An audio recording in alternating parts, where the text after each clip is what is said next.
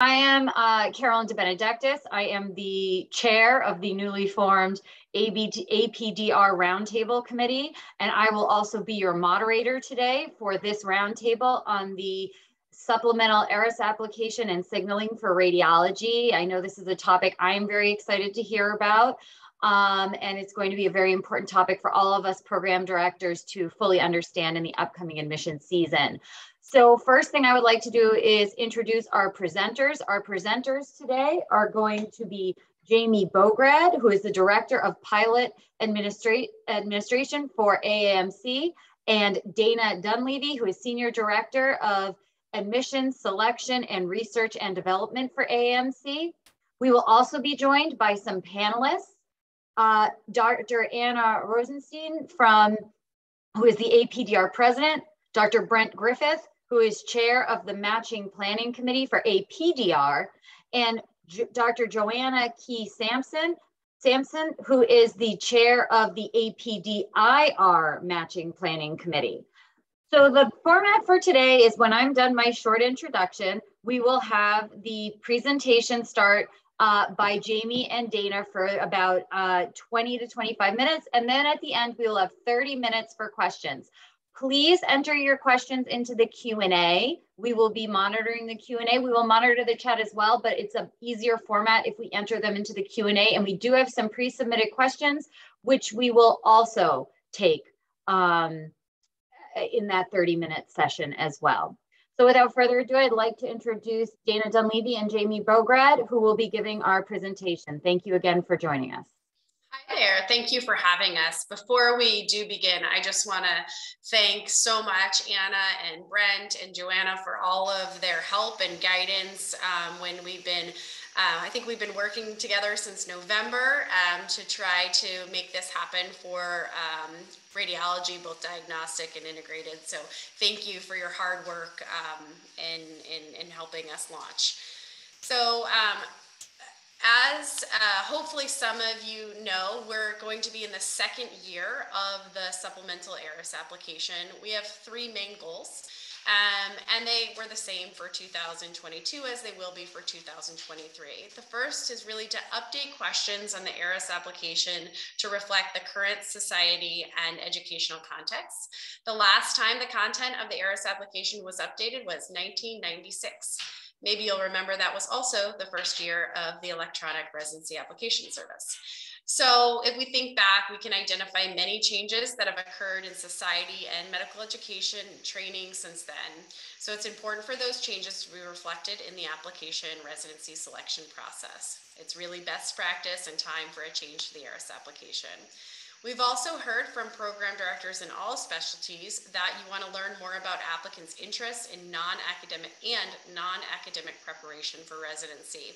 Likewise, we've heard from applicants and advisors, they want you all to look at more than just their STEP score and a graduate of a certain medical school when deciding whom to interview um, or whom to invite for interview. So this SEP app is really designed to help applicants share more information about themselves and their journey. And finally, most of you are aware the current ERAS application makes it pretty difficult to review the whole application because it requires you all to search through many text-based fields. So we know that's not high, that's not really feasible in the high volume um, that some of you may all receive. And so we're trying to provide better and more structured information about applicants to drive holistic review. So we've decided to focus on three elements of the ERAS application, the experience section, the geographic preference section, and program signals. I'm going to turn it over to uh, Dr. Dunleavy to talk about the evaluation plan and go through the content areas for the 2023 application cycle. All right, thanks Jamie, and thanks everyone for attending today. Um, we're excited to tell you a bit more about the supplemental ERAS application and to talk with you about it during the Q&A section. So over the next several slides, I'm going to describe to you um, two things. First, the evaluation plan and a short summary of some of the research that we've conducted thus far based on the first year. And then I will shift and tell you a little bit more about the content. So as you can see on this slide, our evaluation work is built around four pillars, fairness, validity, program director, and applicant reactions. We analyze data, conduct surveys, and we interview um, or conduct focus groups with program directors, um, applicants, as well as advisors to better understand their experiences taking the SUP app. Um, a full evaluation of any change to the selection process takes multiple years to complete because it takes time for outcomes like interview invitations, interview completion, and of course, performance data to accumulate. Um, as, I, as I hope you'll see when you hear about our um, work thus far, we are committed to transparency in our research and evaluation, and we'll continue to report out work um, and summaries of those results as they become available. This next slide summarizes the multiple methods that we've been using to evaluate and refine SUP-APP based on what we've learned from year one and carrying it over into year two. Um, we have already taken a close look at applicants' responses to SUP-APP questions um, from the first year of the pilot. We've used those data to help us understand and answer questions regarding fairness, as well as psychometrics. Um, we've surveyed applicants and advisors and program directors who participated last year to better understand how they use the tool, how we could improve it, and how we could improve our guidance to advisors and applicants. And of course, importantly, how we can improve the way that we share information with the program director community. Um, together, these data have been used to identify all of the changes that we have made for the content for year two, as well as the way the data are being provided to program directors in year two. We are towards the tail end of our first year evaluation plan. Um, at this point, we are turning our attention to collecting outcomes data. And now that the match has closed, we are exploring different avenues for um, obtaining information about interview invitation status and we will look to see whether um, elements of the supplemental application add value in um, helping applicants, for example, increase their odds of interview or and or help programs um, better identify applicants to invite to interview.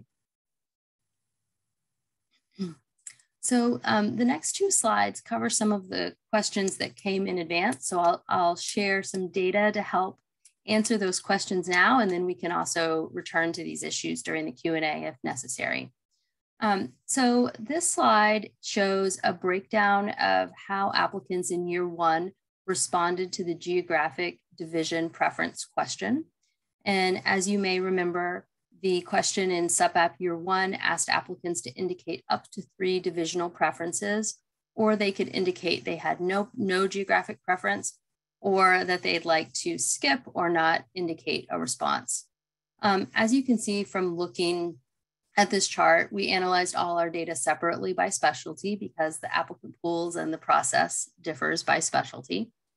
Um, between about 44 and 55% of applicants indicated the maximum number of geographic preferences, meaning they submitted three signals or three geographic um, preferences. Overall, about a third of the applicants did not have a geographic preference. However, we did observe some differences by race and ethnicity in this trend. Um, we learned that Black and Hispanic applicants were more likely to report no geographic preference relative to white and Asian applicants. And IMG applicants also were um, more likely to select no geographic preference.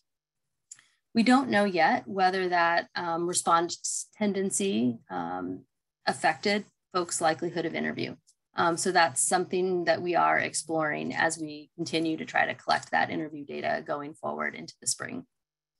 Um, we also, um, one other thing on that last slide, you guys might remember that um, applicants have the opportunity to describe why they have a particular preference for a region.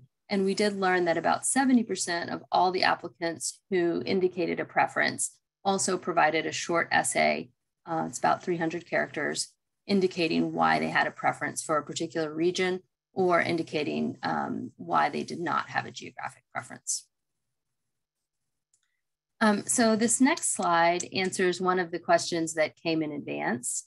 Um, and this is um, a question around the um, whether preference or program signals were aligned with um, excuse me, I apologize. Um, this question has to do with the density of programs in each of the geographic regions of the country that were included on the supplemental application.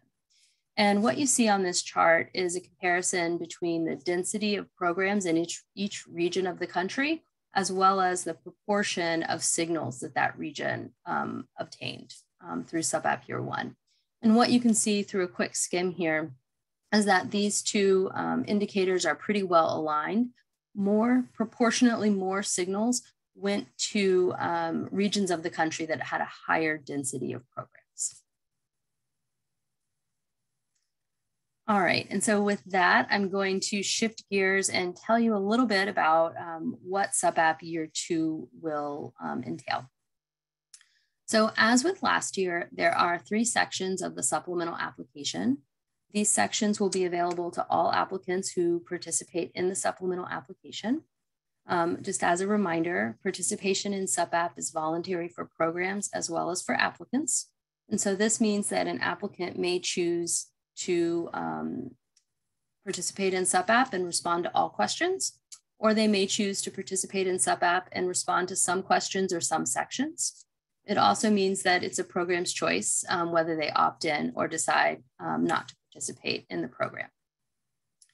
If you advised or if you um, interacted with folks who um, used SupApp last year, you may remember that there was a fourth section. It was a research only section called work preferences. Um, we are continuing to study that section, but we have separated it from the supplemental application to make the process a little easier and less time consuming for applicants. So this year we'll continue to have past experiences, geographic preferences, and program signals. The primary goal for the, for the past experiences section um, was to give applicants an opportunity to highlight their most meaningful experiences and to collect some new information that may be more actionable for you all and give you better information about how an applicant's prior experiences align with your, your institution's mission and goals, as well as what the applicant has in mind for their future career. Um, we also, the other goal for that section is to provide this information in a way that allows you to support holistic review. Um, so the next slide shows you um, a screenshot of, um, of what the past experiences section looks like in the supplemental application. So as Jamie mentioned earlier, um, for this pilot, the supplemental application is outside of the MyERAS application.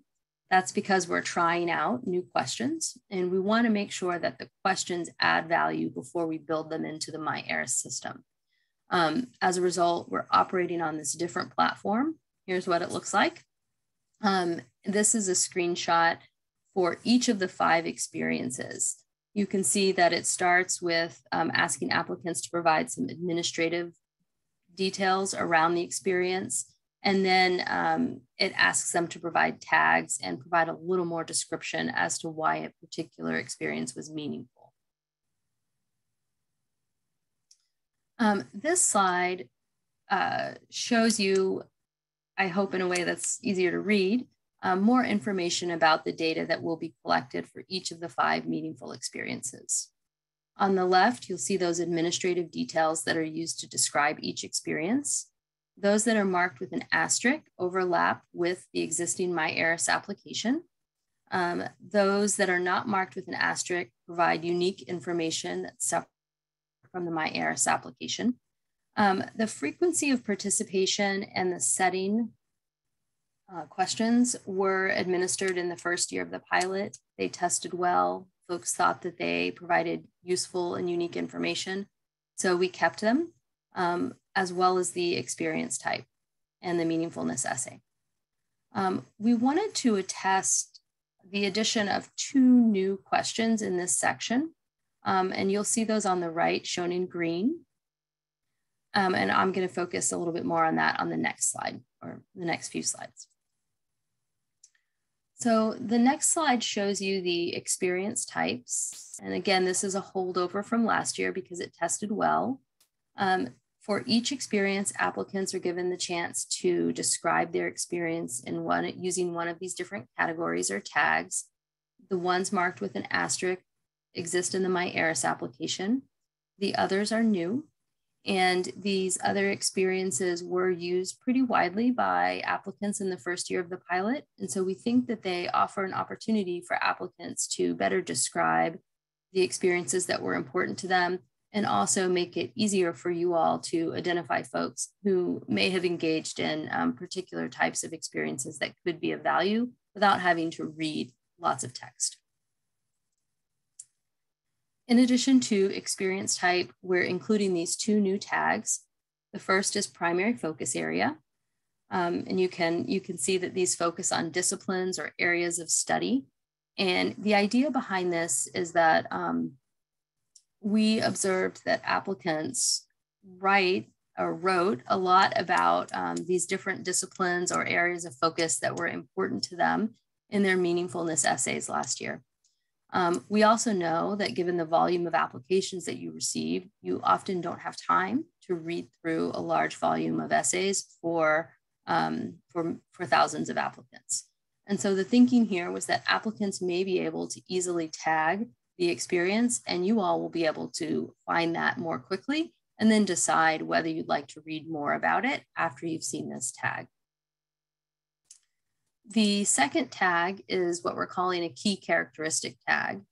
And again, we saw in applicants' essays from last year um, that applicants were really trying hard to identify particular um, characteristics that they either demonstrated or developed through various experiences.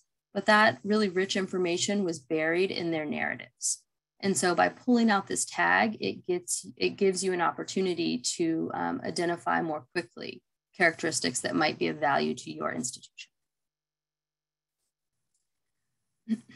um, as with last year, we continue um, we continue to offer an opportunity for applicants to write short 300 characters describing why an experience was meaningful. For year two of the pilot, we are trying a slightly different prompt.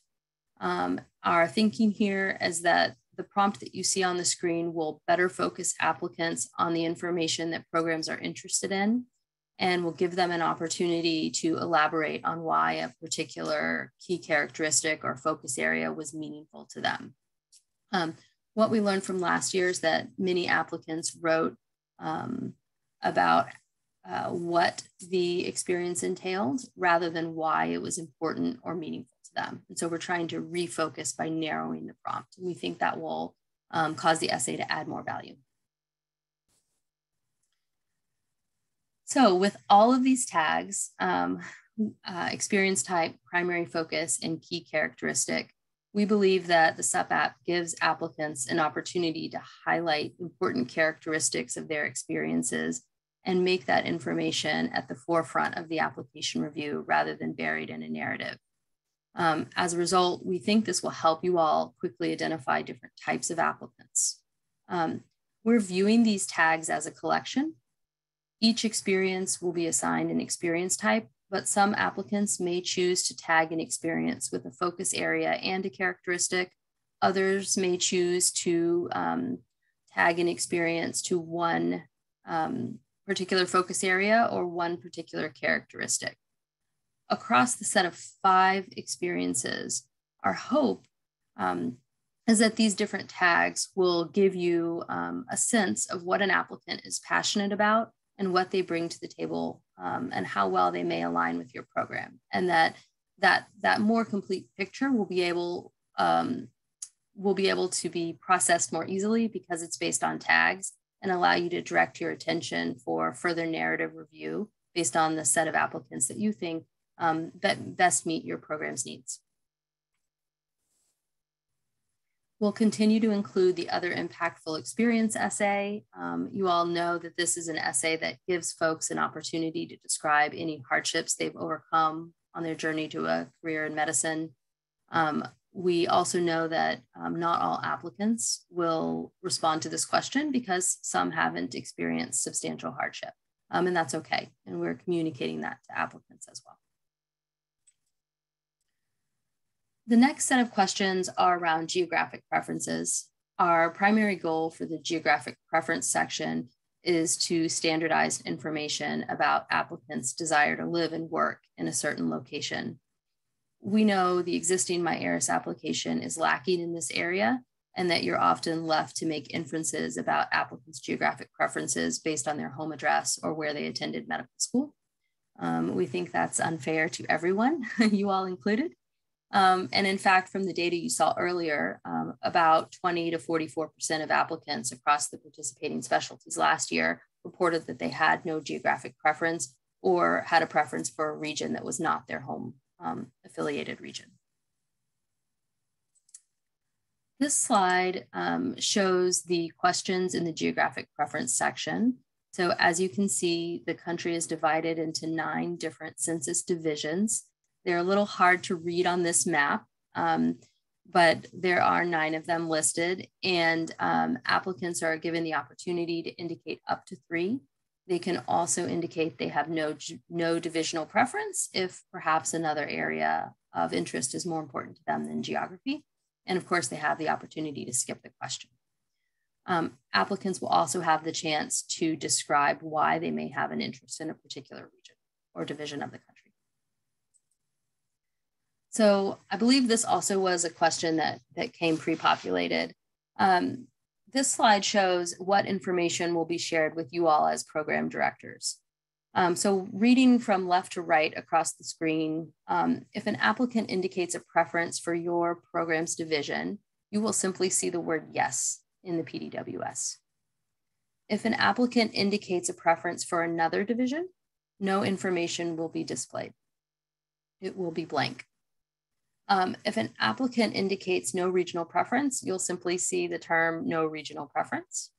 And if an applicant skipped the question or did not participate in sub-app, no information is displayed. So um, in order to give a little protection to applicants here, you're not able to differentiate whether the applicant signaled another region of the country or if they simply um, skipped the question and opted out of the geographic preference section entirely. There's also a question that gives applicants a chance to indicate their preference for an urban or rural setting.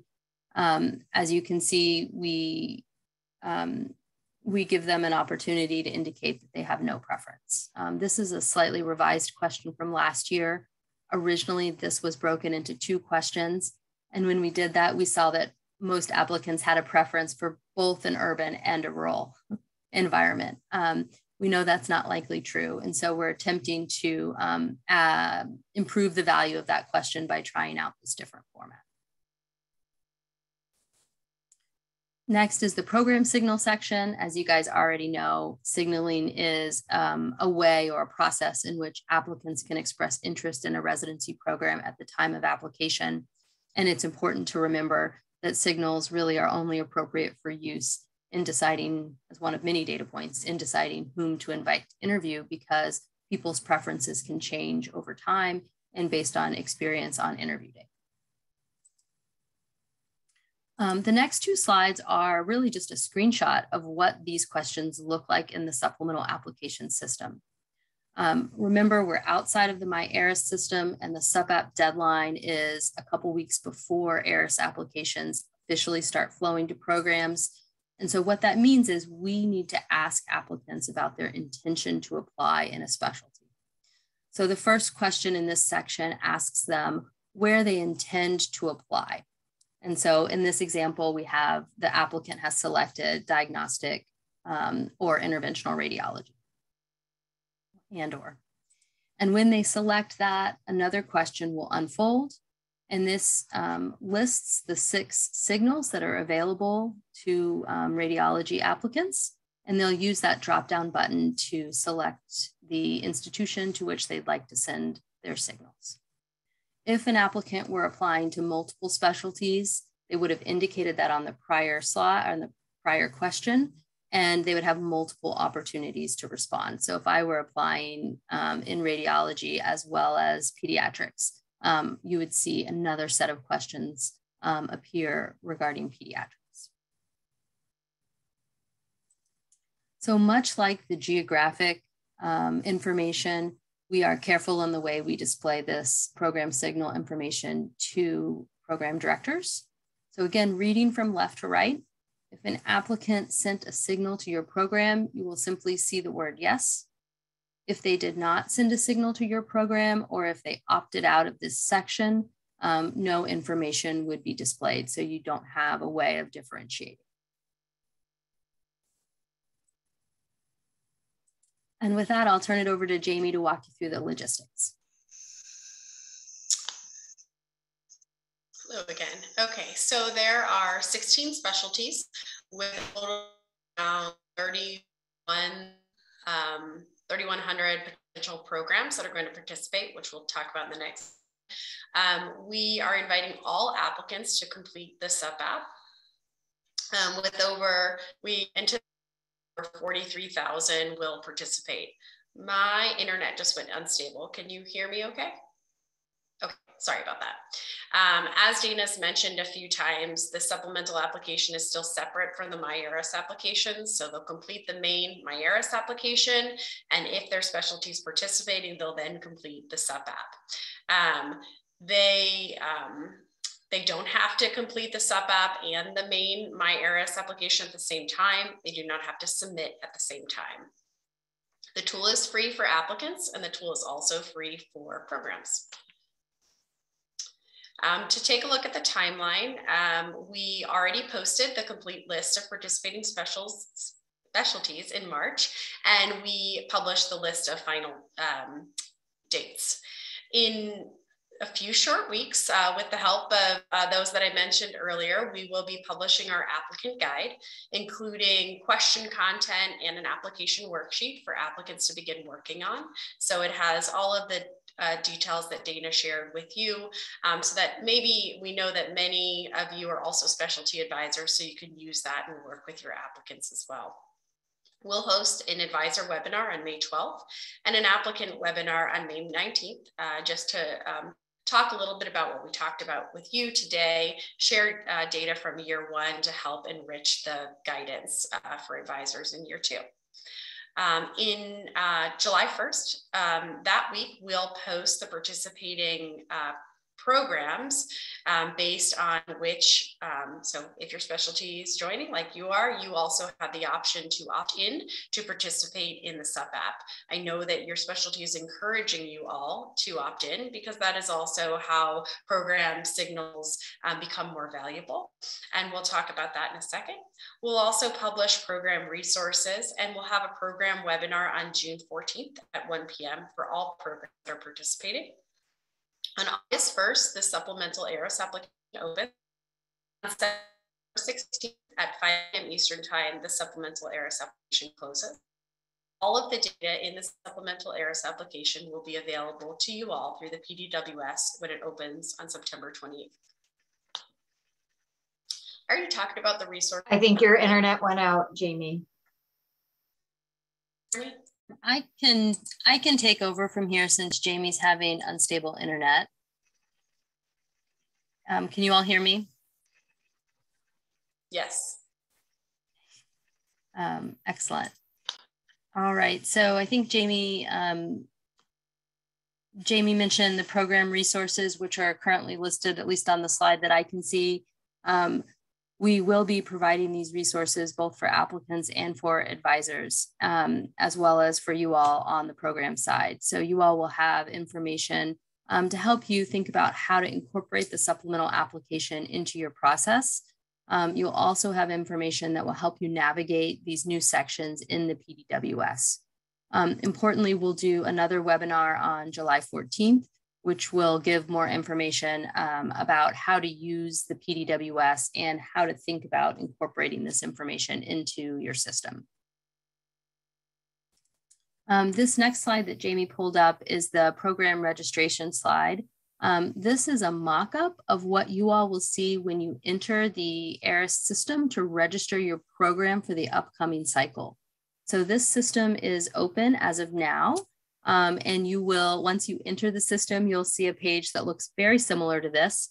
Um, and through, um, through the ERAS EAM system, you'll have until July 1st to sign up for the supplemental um, ERAS application. And when you go through these pages, you'll also be able to see the terms and conditions, and you'll be asked to agree to those terms and conditions prior to, um, to completing the registration. The next slide shows um, a call out of the program agreement, particularly the code of conduct that's most important for the supplemental application. There are three primary rules that we want to make sure folks are aware of. Um, first is that programs shall not disclose the identification of any applicants who have signaled them. Second, they should not ask interviewees where they have signaled.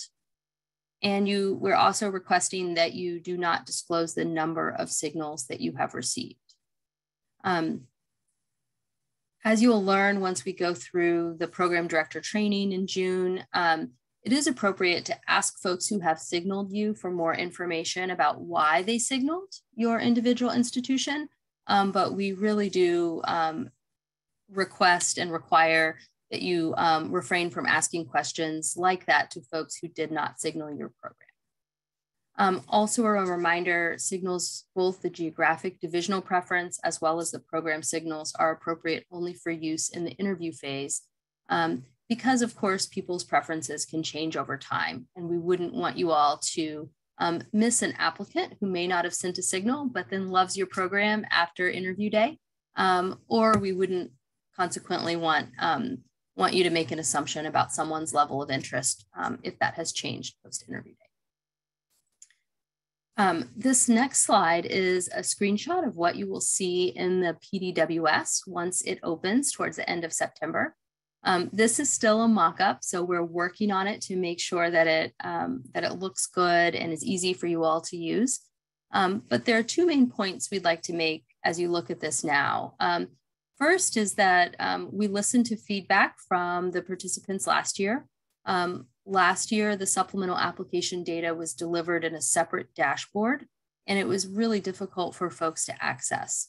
Based on that feedback, we, with help from the ERAS team, were able to put these data into the PDWS. Um, I think we have lost Jamie, so I'm going to go ahead and share my screen so you all can see um, see that present that mock-up. Oh, there we go, Jamie. Thank you. It's back. Um, so of course we we continue to listen to the community and um, try to learn from you all to make improvements to the system. Um, the second thing to point out here, as you can see with the two red boxes, um, is that all of the information from SUPAP is covered in this display.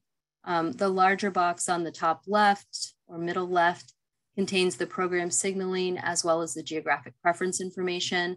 That data is sortable and filterable as well as being easy to see. And then um, the information from the past experiences is summarized in the sub-app tab.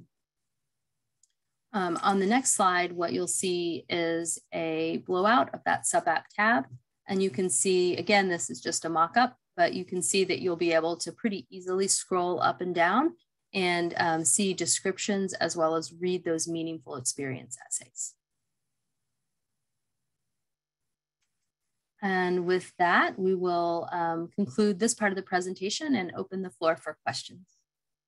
Wonderful. Thank you so much for that wonderful presentation. I really appreciate it. So should we start with the, um, we'll start with the uh, Q&A. So the first question is, if they pick three geographic preferences, do they get to describe why for each of the preferences? And if so, do the PDs get to see all the text boxes for each preference? Sure, this is a good question, and I think I I failed to address this up front. Um, so yes, so applicants um, do have the opportunity to provide an essay uh, description of why they selected each particular region, but that information is only shared with the with the division to which it is relevant. So for example, if my program is in the Northeast and an applicant um, wrote a Northeast essay, I would see that but I would not see their mid-Atlantic essay. Wonderful. Thank you. Is there a word limit on the essay response for each experience? Yes. So we do, um, we actually use character count limits. And so for those meaningful experiences, they're kept to 300 characters. Um, that we did test that last year, and that um, amount of information seems to be about right at the moment. Um, applicants typically use the full 300 characters. Um, we'll see with this different, narrower prompt whether that still holds. Um, for that 300 character limit also applies to the geographic essays. Wonderful, thank you. Uh, I'm going to get through the Q&A ones first, and then we will move on to the chat ones.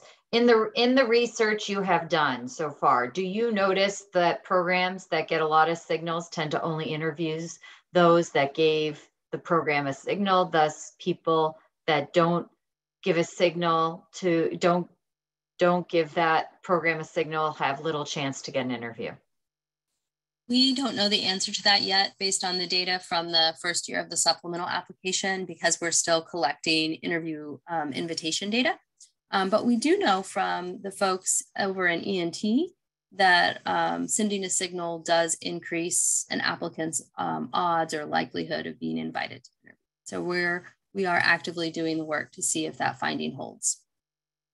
Dana, you might want to also mention um, the signal usage last year that the majority of. Yes, um, thank you. Yeah, I think the relevant point here is that um, last year we did see that um, about 25% of the programs received about 50% of the signals. So um, for some programs, um, particularly programs who receive um, a small proportion of signals relative to their applications, you know, by definition, they're not going to be able to only invite folks who signaled them. Um, so they're, and likewise on the flip side, for those programs that received um, signals from the vast majority of their applicants, they're not able to use those signals as a way to pull down their list because so many of their applicants sent them. Thank you, that's very helpful. Is urban defined for the user? So the applicant, I'm assuming in this case, or yeah. Yes, it is. So in that applicant guide that Jamie was mentioning earlier, we um, list all the questions and when it's appropriate, we also provide definitions. For urban and rural, we, um, we defer to the US Census definitions. I think for urban, um, let me see, yeah. Um, we describe that as 50,000 people or more in a continuously built up and densely populated area. Great, thank you. Can they send a sig, can they send signals at a later date, i.e. not when the supplemental application is initially fill, filled out? So could they give three initial signals and add three later? Um, Jamie, would you take that one for me, please? Sure. So the application is only open from um, August 1st to September 15th. So as long as they haven't submitted their application, they can um, add signals at any time up to the 6th. But once the application closes or they've already submitted their application, they can't make any changes.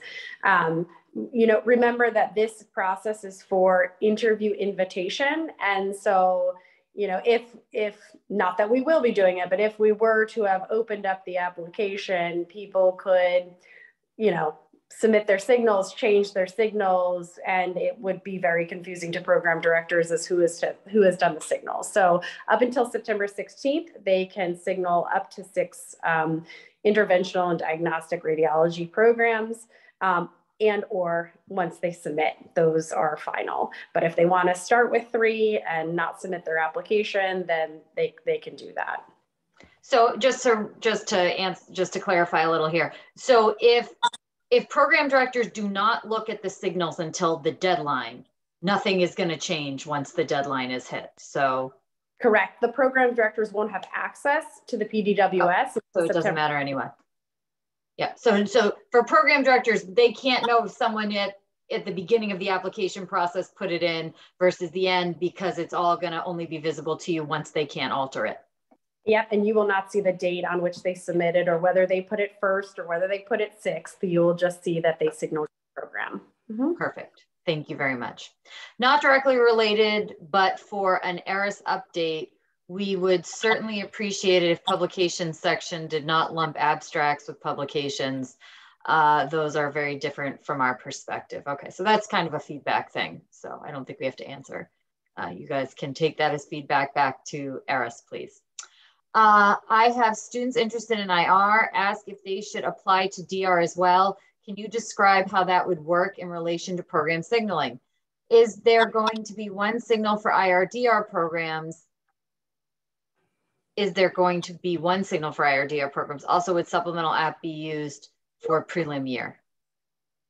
These are great questions, and these are some of the questions we discussed very early on with your specialty leadership. And there um, was almost identical um, applicants in the DR and IR pool.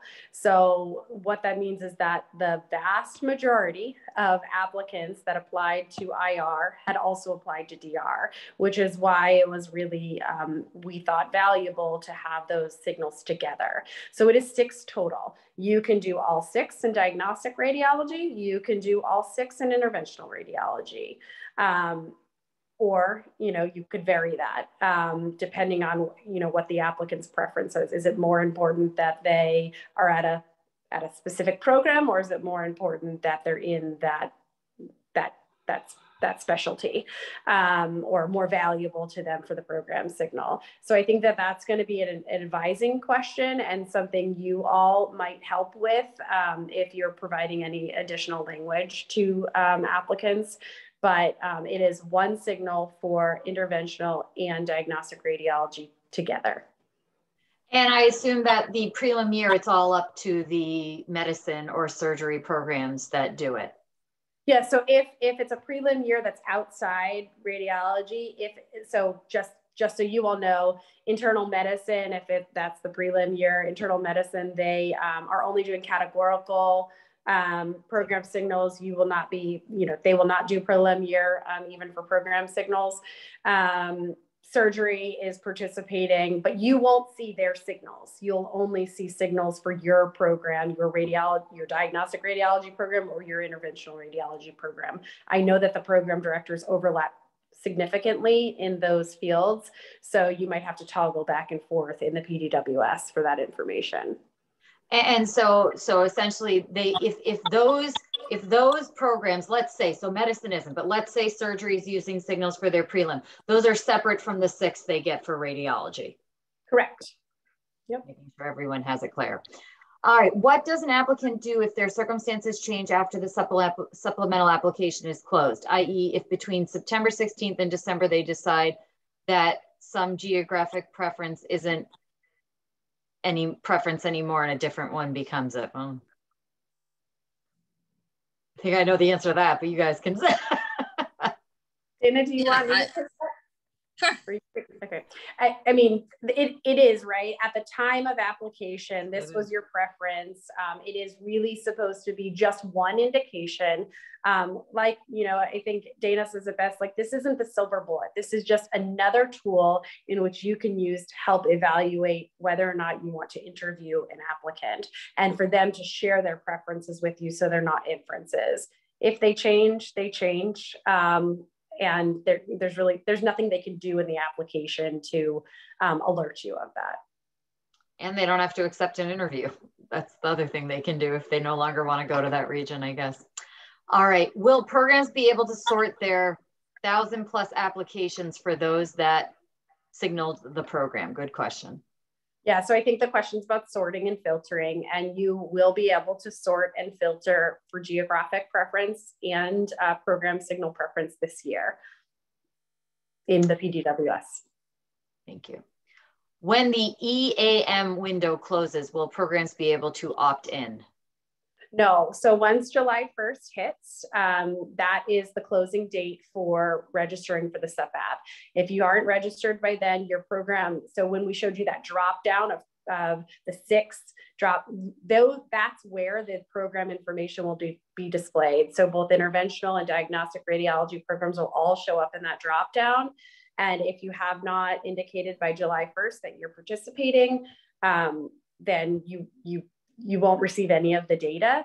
Um, it's also really important that you know what you're getting into because if you do sign up, there's no opting out after July 1st. This is so that we can protect the applicants and provide them all the relevant information. They wouldn't want to utilize a signal that you're not going to review. Smart.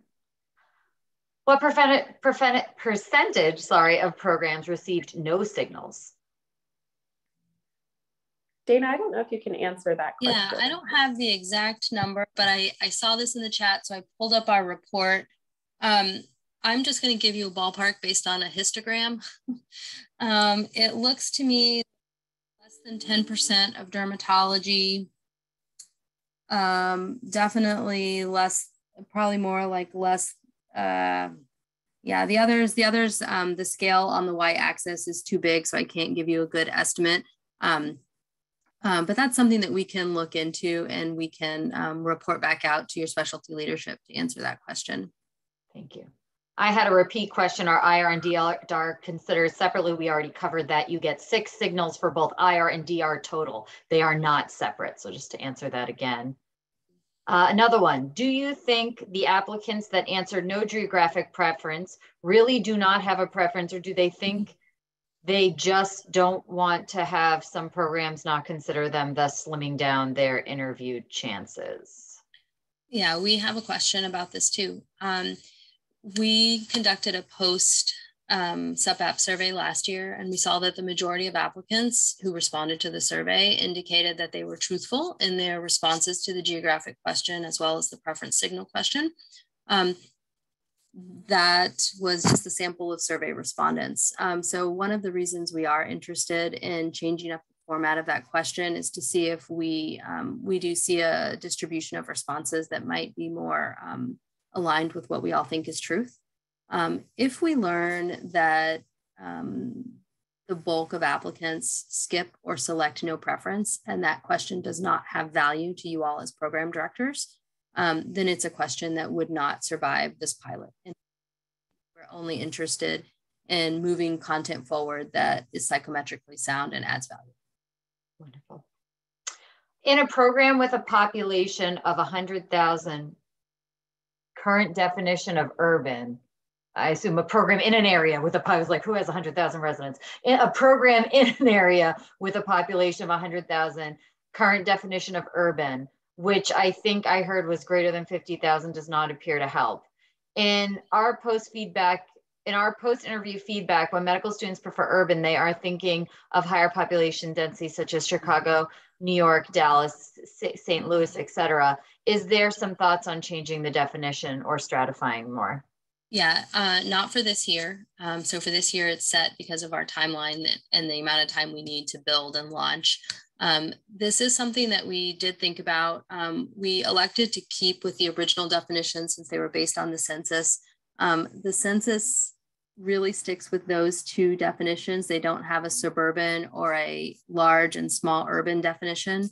Um, and our perspective was that um, we should go with a common definition and have that be based on folks who have expertise in population mapping, um, not testing experts, which is what we are. So um, so for now, that is what the definition we're using. It's something that we are keeping an eye on though, because this question has come up multiple times. Thank you. Uh, what program characteristics describe the programs that receive the majority of signals, if you can answer that? Yep, I can start to answer that. We're still um, looking through um, some of the program characteristics that we have available. But we know that, of course, you saw from a prior slide um, that certain geographic regions received more signals um, that held as well for program signals, not only geographic location. So um, larger programs, um, programs that were in regions that had higher density, programs that are affiliated with R1 um, or university affiliated institutions. Um, those were all typical um, programs that received a larger number of signals, um, programs that had a larger um, size in terms of the number of, um, of uh, trainee positions that were available. we, are, we are going back to look to see how that relates to the number of the application volume. and we're also going back to look to see how that relates to ratings on doximity um, we know from ENT that programs that had a higher rating um, were more likely to receive um, more signals. Um, although, you know, we are at, as AAMC, we're agnostic on, on these ratings, but um, we do think that's important information for you all as programs to have as you think through how to incorporate the ratings um, and what they might, excuse me, the signals and what they might mean to you in your process. Thank you. Why change advice on signaling home institution program?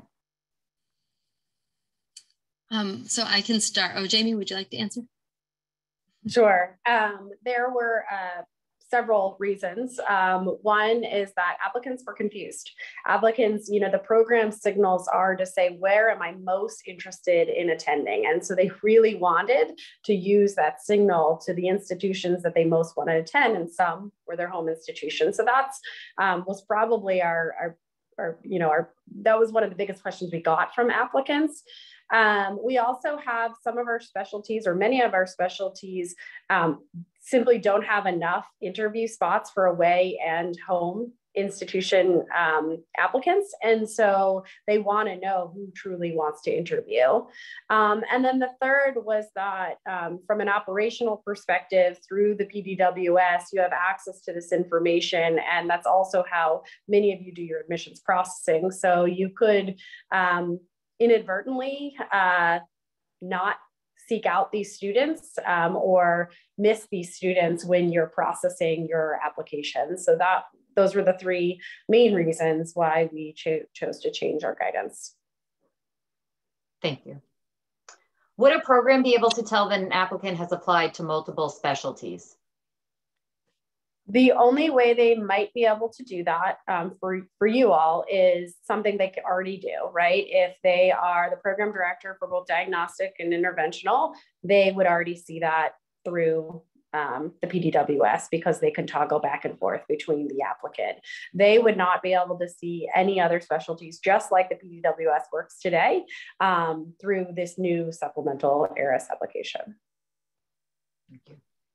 Are you allowed to let your own institutional faculty interviewers know if an applicant signaled your program? Is it permissible to show them the supplemental application information to faculty interviewers if you are interviewing the applicant? Yes. Um, so from our perspective, anyone who is involved in your selection process and your application review process um, is permitted to um, access the supplemental ERAS application information. Um, in this particular example, I think if if I were training those interviewers, I would just remind them that the lack of a signal does not mean necessarily lack of interest, and we shouldn't make assumptions um, about applicants um, in the way that they chose to signal months before you're coming to interview. Thank you. If you change the geographical question to have the applicant list what if you change the geographical question to have the applicant list their top two or three regions? Mm-hmm. Yeah, so right now they can indicate their top three. Um, we settled on three because applicants had positive reactions to that last year, and we did see a spread across those different geographic regions. I think as we go forward with the SUP app, um, we're going to continually be monitoring how applicants interact with these questions. Um, the first year was novel, and we'll see if new strategies to kind of game the system or strategize um, take place between year one and year two, and we would adjust to the extent that we can um, based on new data. So um, I, I, think that's something that can be on the table for the future as we see where the data takes. Wonderful. Is there any problem with the program telling their own students that they don't need to signal their own program? So um, Anna and I talked, or Anna and Dana and I talked a little bit about that earlier, and um, I think I think it needs to be really clear to the applicant what they should do, um, and so you know right now the for radiology interventional and diagnostic is to signal the programs you're most interested in. And that is absent of you know there is no recommendation to not signal your um, home and away in-person rotation. Um, if a program director wants to have a specific uh, conversation with a specific applicant um, you know as long as it doesn't violate any rules I, we, we can't we can't dictate we can't there's nothing in, technically that we can do to the application to prohibit or inhibit that behavior. Um, but I would just advise you all to be uniform um, so that it's not confusing to the applicants or their advisors. So, so for example, just let me put this out there. I always interview, no matter how bad they are, or good they are. I interview all of the ones from our medical school because we're a primary school, primary care school, and most people don't go into radiology anyway. So it's a small number. So am I allowed to pull them all aside in a group meeting who are applying and say, hey, don't waste one of your signals on us. We interview you all anyway, you know, something like that. May I yep, chime in go for it. question? The APDR will follow the AAMC recommendation of signaling all programs. However, we all understand that programs are different. And specifically, some programs um, may be located, maybe, you know, if you have one medical school and one program, that's very different from one medical school and multiple programs, up to seven, as we know. And so, one institution, one program situation may not want to see the signal from their students because they will interview them all. Okay? At this point, obviously, such institution is free, there's no mandate to go to actually recommend something different than the AAMC um, recommendation. However, it has to be absolutely crystal clear to medical students. Transparency is important. Therefore, we strongly recommend that whatever you choose, you should put it clearly on your website. Communicate this information to the advisors, medical student advisors, and to the medical students. So as Jamie said, there is no miscommunication and you medical students know what your preferences are. And if you allow them to skip signaling, right, they need to be clear, right, and not confused. I think Jamie and Dana's and AAMC issue here is, you know, lack of confusion, transparency. Everybody is on the same page. So as long as you maintain transparency between you and the medical student. And I'll add one other thing to that, Anna. Thank you for saying that so clearly, which is um, I think if your if your program opts to go in this route, make sure that you're talking and training your interviewers in the same frame so that they don't mistakenly view that negatively when they're reviewing an application. Absolutely, absolutely. Thank you very much. Well, we have gone through all of the relevant questions in both the chat and the question boxes. Um, so, and we have literally less than a minute left. So since there are no other questions, I would like to really thank uh, our speakers, Dana Dunleavy and Jamie Bograd for all that amazingly helpful information, which I will send out a summary of as always in the next week or two for people to have. Uh, and also thank you to our panelists, Joanna Key Sampson, uh, Brent Griffith, and Anna Rosenstein. Thank you so for thank having you. you know how to reach us if you have any questions, comments, or concerns. Absolutely. And Thank please, you all again. And please send me and Brent all the questions you might have. You can use the list serve. We will be constantly communicating with you. We'll answer all your questions in as real time as possible. And yes, we'll be reminding you to opt in continuously. Those of you who don't opt in, you'll hear from us because we would like to, you know, remind you. Wonderful. Bye, everyone. Thank you all.